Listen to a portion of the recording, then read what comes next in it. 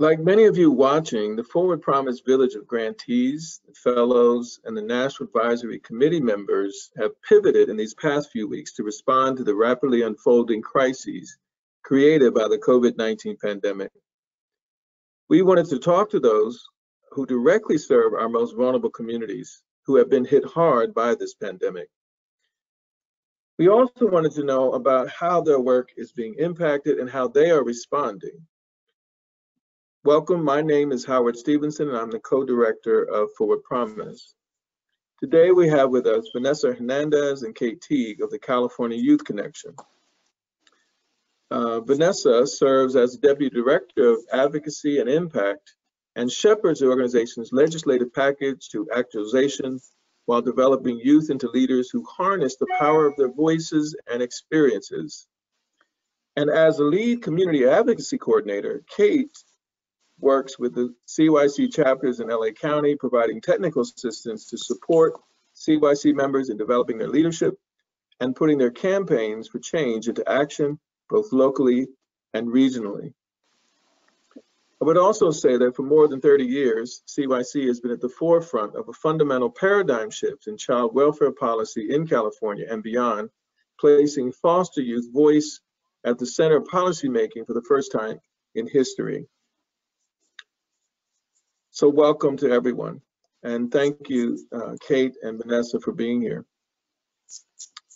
Thank so, you. Excited to be here. Great. So the first question I want to ask is, how are the youth that you serve, foster youth, being impacted by COVID-19? And what are some of the unique needs and issues facing them at this time? Yeah, thank you. Um, I want to start by talking a little bit about the advocacy CYC has done over the past two years. For the past two years, we've launched a campaign called Foster Stability, hashtag Foster Stability. And that campaign was really centered around stability in all aspects of a young person's life. Um, when my members who are currently in foster care or formerly in foster care started talking about stability, my mind jumped to placement stability. So my mind went to, okay, how can we ensure um, we're doing better compatibility and matching. And my members were very clear and pumped the brakes and they said, no, we mean stability in all aspects of our lives. We mean it in our relationships, in our health and wellness, in our education, in our services. How do we create a youth-centered system where that is the number one priority? So as it relates to the COVID-19 pandemic, that work and that foundation is critical to the conversations that we're having. Right now, a single bed or a place to be is not sufficient, right? We know that the COVID-19 pandemic is impacting folks' um, wellness, their mental health, their relationships. And so when we have this conversation, I think it's easy and clear to point out that this is impacting our children and young people on every level possible. And um, it raises the level of um, urgency because the impact is going to be far beyond this three months, this six months. These could have lifetime imp impacts. Kate, did you want to jump in? Yeah, and I think that specifically for foster youth, um, you know, foster, going into a system like the foster care system um, already is a significant disruption. Um, and mm -hmm. the COVID-19 response has really escalated those disruptions even more. So, you know, even things like being able to visit with families, right? So in pre-world, pre-COVID world, um, visitation with siblings and with families, there were several protections in place. Mm -hmm. As COVID response has ramped up, a lot of those protections are no longer in place. Um, and so one of the first things to be canceled was family visits and um, visitation with siblings.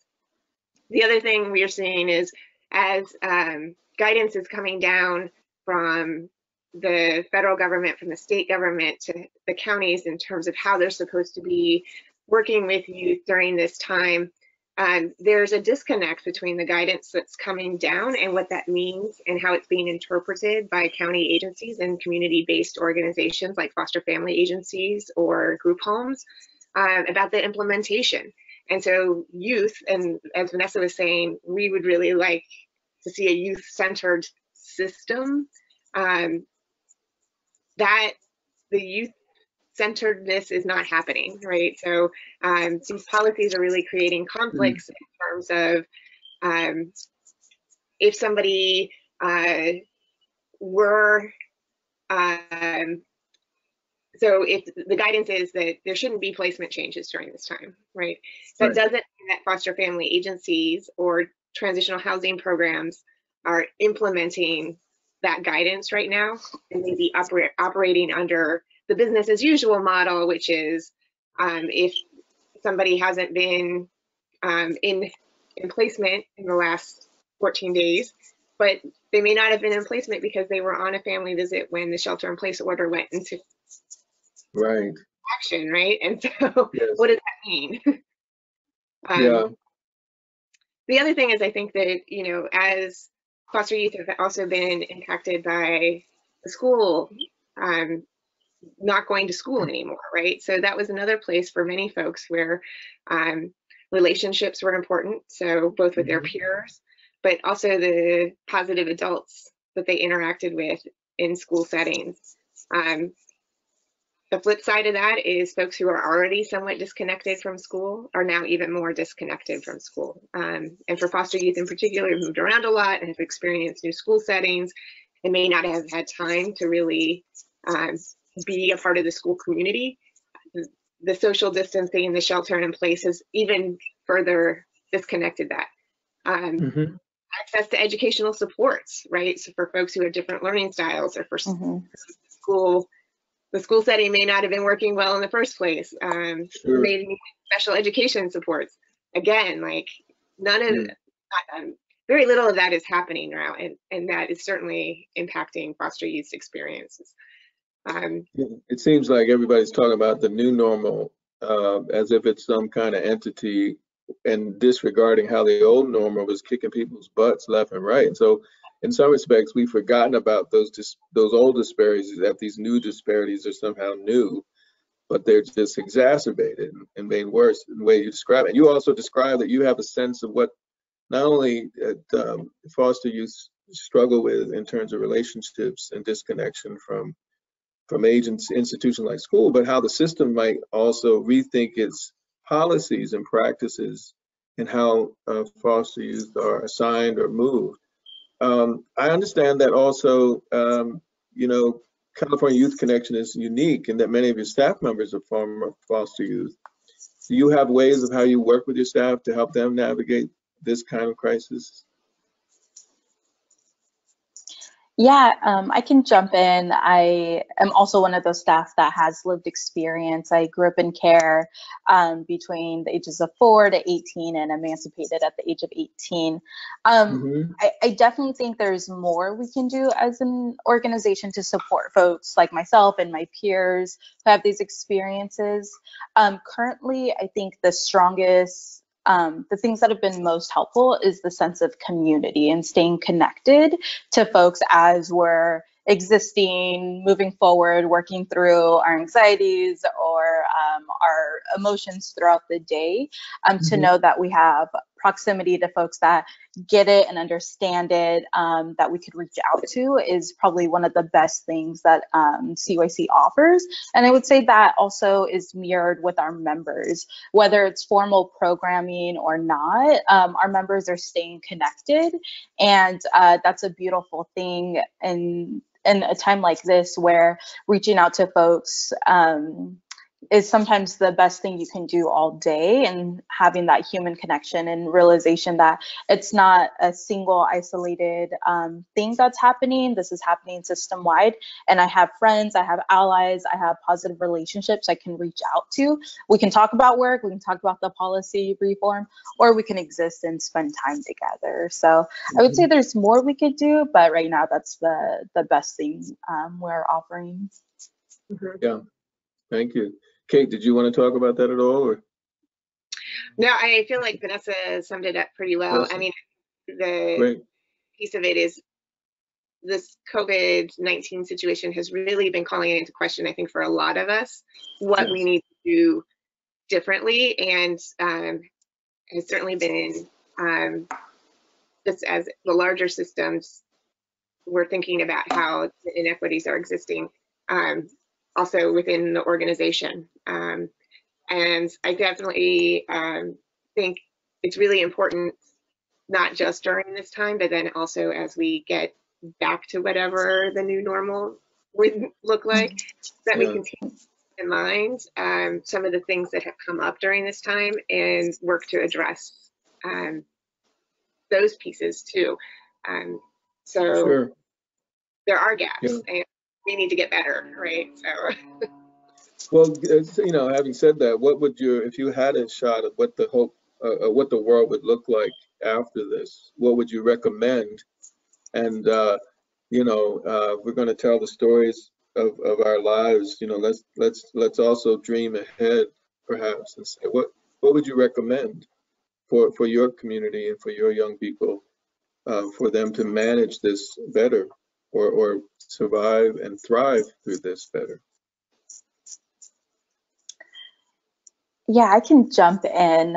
Um, I think in this moment, when I can think about best case scenario, um, the the urgency is so important at this moment. We have young people in foster homes of folks they probably don't know that well. Um, we have young people who feel very distant and far away from their communities and people that they love.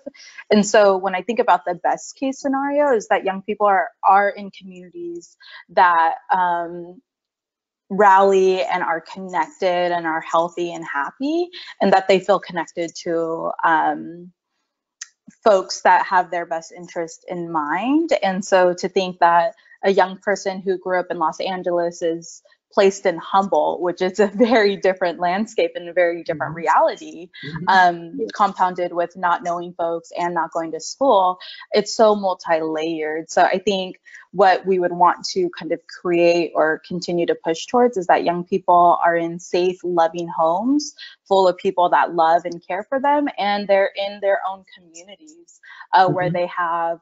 Uh, you know, a soccer coach they can go to, teachers that are positive relationships for them, church, extracurricular activities, being in foster care, um, the system can in some ways strip all those things away where some of the only Mhm. relationships you have are your caretaker. And if you're in a group home that's your house parent. There's two staff per two staff people per eight to ten young people. Um, and your social worker and maybe your attorney and that is such a bare um, detrimental Mhm. way to exist completely so um, something i'd work towards is uh, communities of origin, happy, healthy, and surrounded by people um, and relationships that have already existed prior to the system ever intervening. Mm-hmm. Thank you. Kate, any final statement or thoughts about this? Yeah, I, I feel like we are in a moment where we can dream big and um, have a little have a window right now where we can push for things that uh, we weren't able to really push for before. Um, And I think that really being able, as we are both trying to keep our ourselves and our family, whatever that may look like, healthy and in community with each other, um, we also have this opportunity to really push forward some things that may have seemed like impossible before. And so I really do hope that as we are um, in this time, that we are also looking towards our to our our community and in our case to the CYC members about what is it that we really should be working together towards right now because um, I think we have we have an opportunity. Mhm. So um, as Yeah, unless as much as this has been a crisis, I think we also um, can can really get some victories out of um, this period in time. So fantastic. Um, so, um, thank you very much, Vanessa Hernandez and KT California Youth Connection. We're so happy you could be with us, and and we are praying for you and wishing you all the best. thanks for this opportunity. Really appreciate it. And looking forward to hearing from others. Yes, Yes. absolutely. Thank you.